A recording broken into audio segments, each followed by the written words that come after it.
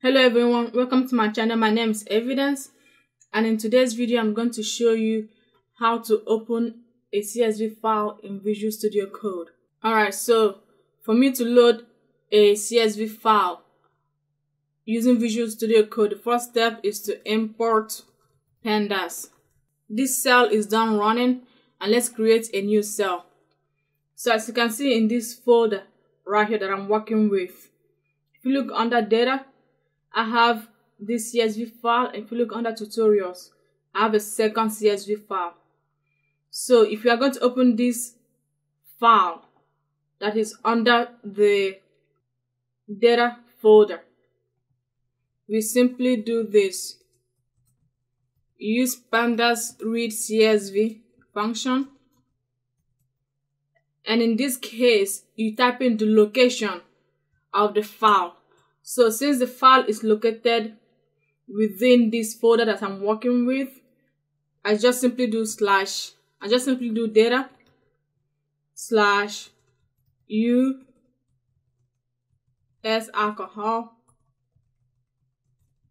consumption dot csv and then we'll run this. And then to make sure this is loaded correctly just do load dot load dot head. As you can see the file itself has been correctly loaded right here.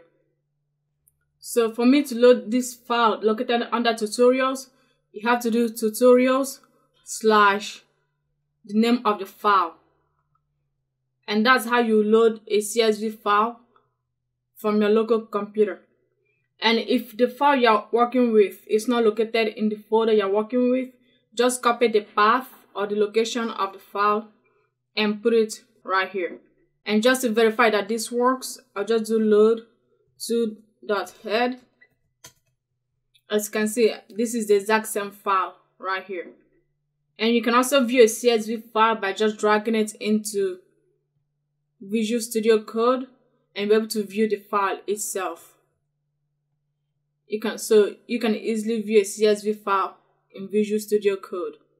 If the CSV file you are working with is not located inside the folder that contains your file, you can still load the CSV in Visual Studio Code. Okay, for example, I'm going to copy the path where the CSV file is located. So this is my file explorer and how it is in Mac is a little bit different, but the general concept still applies. So in Windows, you select the file that you want to load in CSV, then you go to Home, Copy Path, then you go back to Visual Studio Code and let's load this. Let's call this live equal to PD dot read csv and you cut and you paste the file location. Then you run this. And when you run this you run into a problem. So to fix that you just type in r right here to make this into a regular string as opposed to so it doesn't have the unicode in front of it. Then you run this again and this is the solution and it works now. And if we do live.head we should see the file. As you can see this right here is the csv file that is located in this location in my local computer.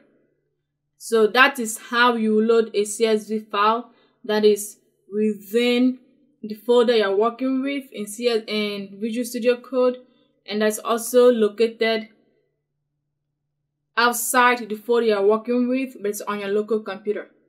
In a different video I'll show you how to load a CSV file from a URL and yeah I hope you like this video. Thank you so much for watching and I'll talk to you guys again in the future. Make sure you thumbs up and subscribe. Bye.